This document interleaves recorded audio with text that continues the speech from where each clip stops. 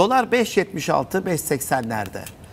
Dolar neden istediğimiz seviyeye düşmüyor? İstediğimiz seviye ne? Bir kere onu bir tartışıyor olmamız Ben tekrar 3.5'lara dönmek istiyorum. Mümkün mü? Mümkün değil çünkü e, sonuç olarak bakıldığında iki Başka bir dünya mümkün diye program yapıyorum. Abi kuru oraya döndürmekle başka bir dünyanın mümkün olacağını ben hiç zannetmiyorum. Onlar makyaj.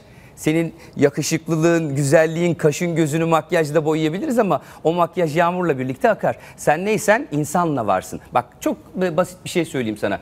İki ülke arasındaki para biriminin değerini ya iki ülkenin arasındaki enflasyon ya da faiz farkları belirler ya da satın alma gücünün paritesine bakarsın. Yani bir sepeti bir ülkede doldurmak için içine alacağın peynirin, yağın, tuzun, cep telefonunun ne kadar para tuttuğuyla diğer ülkenin e, ülkede e, harcadığında ne kadar para tuttuğu oranına bakarsın. Dolayısıyla Türkiye ile Amerikan doları arasındaki enflasyon ya da faiz farklarına bakarsan 3,5'a dönme imkanımız yok. Bir de oraya dönmemeliyiz. Neden?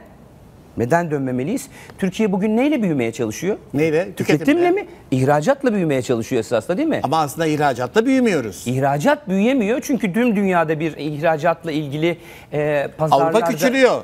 Amerika'da sıkıntı var. Biz yeni pazarlar açmak istiyoruz, bulmak istiyoruz ama bunda başarılı değiliz. Yeni pazarlara yönelemiyoruz. Hala biz e, Çin'den aldığımız malı nereye satıyoruz? Avrupa'ya satıyoruz. Bizim ihracat pazarımız ana kalem orası. Evet. Dolayısıyla kur tarafında bence aşağı gelemememizin bazı temel nedenleri var. Biraz önce söylediğimiz enflasyon bunlardan bir tanesi. İkincisi risklerin devam ediyor olması.